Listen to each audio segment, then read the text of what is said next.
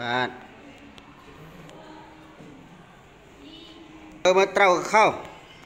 ញ៉ាំអង្គុយត្រូវខោ